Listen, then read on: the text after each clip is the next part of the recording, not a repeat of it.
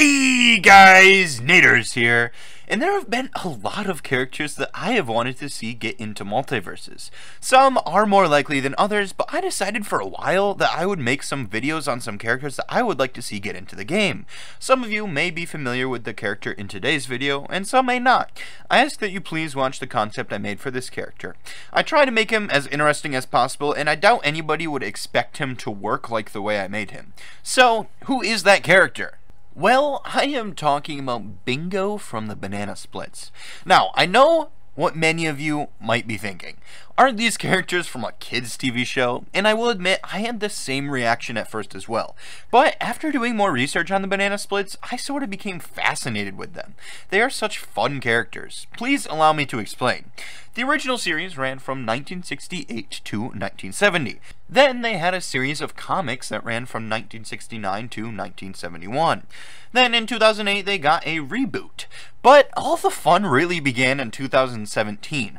This was when DC Comics released a comic crossover with the Banana Splits and the Suicide Squad. This was the start of the Banana Splits being used very differently than they were previously. In 2019, there was a comedy horror film released on the Banana Splits, and more recently, they have appeared in the Jellystone TV show. In it, they are literally criminals. They do stupid things like painting fruit the wrong color and stealing hot dogs, but still criminals nonetheless. And this is really what fascinated me. The Splits started off as these innocent little kids characters. Now they have become something very different, and I wanted to showcase that in their moveset. But I had to only choose one of the splits. So who did I choose? Well, I chose Bingo. And there are a couple reasons for this, but most of all, it's probably because he's my favorite character. There are four splits to choose from, those being Fleegle, Bingo, Drooper, and Snorky. I really like Bingo's personality, and his character design is the best of the splits in my opinion. Bingo seems to be the second most popular, or the most popular character of the splits. The debate of most popular is between him and Fleegle. This makes sense as Fleegle is the main split. Each of the splits have their positives and negatives. Snorky was the main split in the Banana Splits movie, and they all have a decent amount of moveset potential. So it really did just come down to personal preference, and in my opinion, Bingo is the best, so I decided to go with him. There is a little more to it than that, though. Bingo also seems to be the most unique of the splits. He's supposed to be a gorilla, and seems to be the biggest of the splits in most depictions of him. He also is insanely strong. Take these couple panels from their comic, for example. Bingo is shown being able to hold up two dune buggies, and both Snorky and Drooper. He is also shown carrying a heavy-looking dresser like no problem, as well as lifting up a bed with ease. None of the other splits are shown to have this type of strength, and I think it adds to Bingo's character. It makes him more interesting in my opinion. He's a big, strong gorilla who happens to always be smiling, which is just so fun to me. One thing I should probably get out of the way quick is that this video will contain some spoilers from the Splits media. I won't try to spoil any of the storylines too much, but you may see some scenes or panels that could end up being spoilers. So before I go into his moveset, I'll first go over his gimmick, which is a pretty simple one. For those who are familiar with Princess Peach from Smash, it's pretty similar to her gimmick. In Banana Splits animated movie called The Banana Splits in Hocus Pocus Park, it is shown that the Splits hats can be used sort of like balloons to slow their fall. I think Bingo could use this to his advantage in MultiVersus. I imagine it working like this. If Bingo is in the air, he can hold up. After a second or two, he will take off his hat and it will blow up like a balloon. During this animation, it could hit and damage players, but that isn't really its intention. Its intention is to slow Bingo's fall back to the stage. It would have a bit of end lag and would be stopped as soon as either Bingo touches the stage or the player stops holding up. This is a little similar to Gizmo's umbrella, except this wouldn't be a move like his. I think it could be fun and would add to Bingo's character. Now let's get into Bingo's moves. In MultiVersus, there are two types of moves, attacks and specials. Each one has an air and grounded move. There is one more thing as well. In the new trailer we got a couple weeks ago, we were shown that characters now have dash attacks. So I'll go over Bingo's dash attack first. In the Jellystone TV show, the Splits are seen swapping their hats for some new ones with spikes on the top of them. I imagine Bingo's dash attack working like this. Bingo would put on the spiked hat, put his head down, and charge forward. I envision it being kinda similar to the charging chucks from Mario if you're familiar with that. But for Bingo's, he would put his head down so the spike would damage the opponent when he charges forward. Now we can get into his regular attacks. I'll go over his grounded attacks first, and then the aerial ones. For some of the moves, I've taken them from images that exist, some of them I've taken them from the movies and shows, and some of them are from the comics. For his neutral ground, I got the idea from some promotional artwork. Bingo tends to be depicted with a cymbal and a drumstick. I think that for his neutral ground, he could bang the cymbal with the drumstick, and it could send a shockwave forward. I think if the move is charged, he should be able to walk around the stage holding the drumstick in the air about ready to slam it down on the cymbal. I think the longer that you charge the move, the larger the bang, which then means that it gives off a larger shockwave. I think this would be a fun move, and it would make sense for his character. I will say now that his specials are where he gets interesting, so keep watching to see what I'm talking about. For Bingo's forward ground, he would do a combo of kicks and punches. Bingo has been seen fighting a decent amount. He is shown fighting other inmates in the Suicide Squad comic, and he is shown fighting Snorky in the Banana Splits movie. So I don't think it would be that out of the question for him to be seen doing this in MultiVersus. Characters such as Shaggy have been seen doing a combo move for their forward ground, so it would work to have Bingo's also work similarly. For Bingo's up ground, he would pull out a guitar and jab it upwards. I got this idea again from some promotional artwork. Bingo is shown to have a guitar above his head, so I think it would work nice as a move. I'd imagine it could probably be a charge move as well. The guitar would obviously be the hitbox in this case. For Bingo's down ground, he would do a downward sweep with a sword. This comes from the Banana Splits comics. In this panel, it looks like he is holding a wooden sword, but it is actually later revealed to be either gold or silver. So if the devs wanted to, they could make it look wooden and have it be more comic accurate or they could have it be silver or gold. Personally, I'd probably like it to be gold or silver. This is because I want his criminal aspect to be shown more in his moveset, and I think that a golden sword seems to match that a bit better than a wooden looking one. And that is the last of Bingo's grounded attacks. So now we can get into his aerials. For Bingo's neutral air, he would drink some of a milkshake and then start laughing and spit it back out. This comes from a scene in Jellystone where they are drinking some milkshakes that they stole. But then they start laughing. I think that the milkshake that he spits out would have a hitbox that could damage players. It's a pretty simple move, but also a unique one. I also would love to see that he is drinking three milkshakes like he does in the movie clip, because that just seems really funny to me. For Bingo's forward air, he could swing a bag of hot dogs forward. The hot dogs don't really have to be visible, it could just be him swinging a bag forward, but if the Debs wanted to keep it accurate, then the bag would be filled with hot dogs. They actually stole these hot dogs. I'm not really sure why you'd want to put like hot dogs in a bag, but that doesn't really matter. The bag would have a hitbox that could damage opponents. For Bingo's up air, I had two ideas. Both would do the same thing, just look different visually. He would either A, jab two drumsticks upwards so that they hit each other. This would have the intent of getting a player caught in between the drumsticks before the drumsticks come together touching each other. Or the same thing could happen, but with pots and pans. The pot and pans idea comes from the comic. The pots and pans would probably have a larger hitbox due to them being bigger than the drumsticks, but the drumsticks would probably make more sense to his character because he is a musician. Either way, he would jab one set of these items together, hitting players that get caught in between them. I also had two ideas for Bingo's down air, but these two moves would work differently unlike the up air one. The first idea I had was him swinging a hammer downward. This is similar to Bugs' move and would work the same, just look different visually. But if you don't like the idea of having a move that is the same as a different character, then I thought that he could have a move where he starts falling rapidly.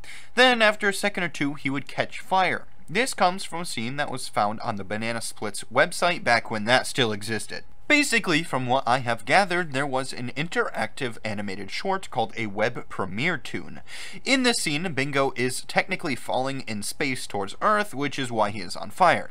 But I think it could work as a move in MultiVersus, setting fire to whoever Bingo touches. And that is it for his attacks. Now we get to his specials, which really start showing the other side of Bingo.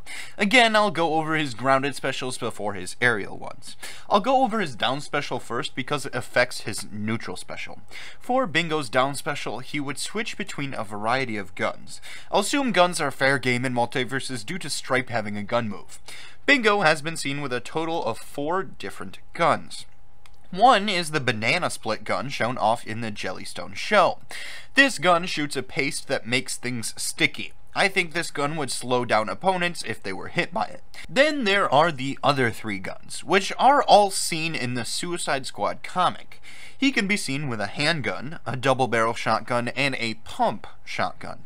The handgun could be more useful for up close combat, but would most likely just rack up damage. The pump shotgun would have a decent range, but also have less power than the double barrel shotgun. I think maybe they could have the guns be sort of realistic, where you have to keep track of the ammo and have to reload.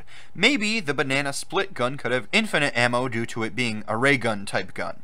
The double barrel, on the other hand, would have the least amount of ammo and the pump would have the most. For Bingo's neutral special, he would shoot these guns. If you run out of ammo, you can press the neutral special button again on the ground and it will reload.